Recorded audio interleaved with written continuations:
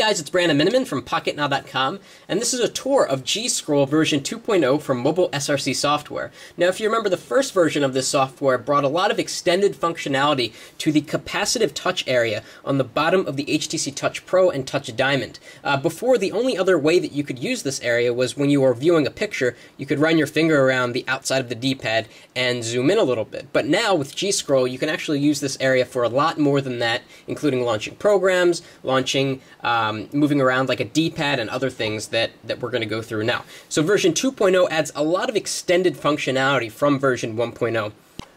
And so the first piece of functionality has been there since the beginning. It's the ability to swipe your finger along the left of the D-pad and actually move the cursor around on the screen. So you can see I'm swiping the left, I go to the left, I go down, and it'll go down to the right.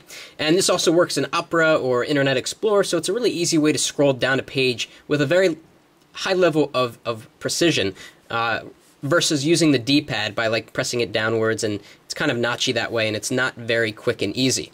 Now something else that has been added is the ability to launch a ton of different programs with a ton of different key combinations. So watch this. If I tap on the uh, center of the D-pad gently two times, I will open Teeter. If I do it once, I get the list of commands. If I do it twice, it will launch Teeter. And there it is. Now, let me go back to that screen. You saw something else underneath it there. Internet Explorer. Three taps, and it will open Internet Explorer. Oops, I must have done it two taps. Let me do it again. One, two, three, and here we go, Internet Explorer. And like I said, you can scroll down with the, uh, the capacitive zoom area. Now, you can program all of these key combinations to open any program on your device. So you could have, you know, two taps on this button to open messaging, or a tap here and a tap here to open, you know, uh, Word Mobile or something like that.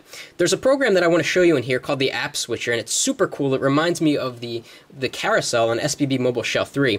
So I do the home button two times to get to that and watch what happens. So now I can flick between my open programs, or I can use actually the capacitive area to flick between my programs.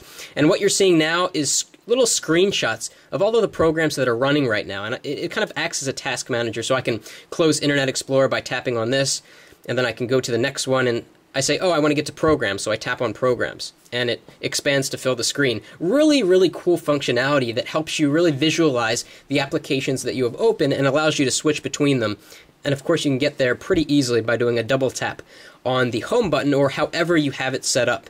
And let me show you exactly how you set that up. So I'm going to go into the settings for G-Scroll, which has been improved. Before it was kind of archaic and difficult to know um, exactly what each function does.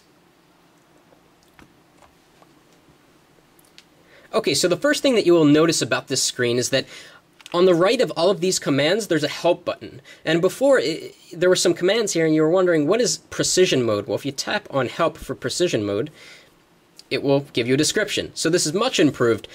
And what the precision mode lets you do is stipulate the functionality of the, the touch sensitivity of the up and down D-pad action when you're moving through icons or moving through a web page. So that's a good addition. Um, see what else we have here. Um, we have enable Opera scroll mode so that it'll work in Opera Mobile.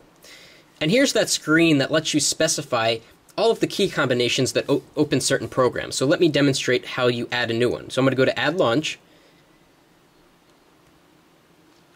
And let's say I want to have a program open if I press the home button followed by the center D-pad area. So tap, tap.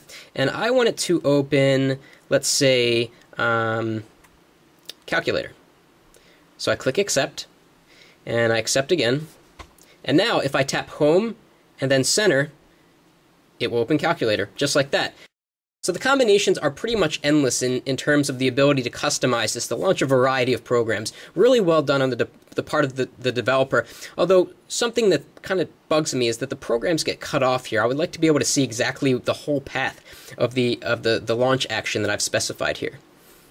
Going over to the right, we have App Switcher, and that's the thing that you saw earlier that lets you flip through all of the open applications that you have. And you can specify if there's a fade in and out or if there's an animation when you're done finding the app application that you want.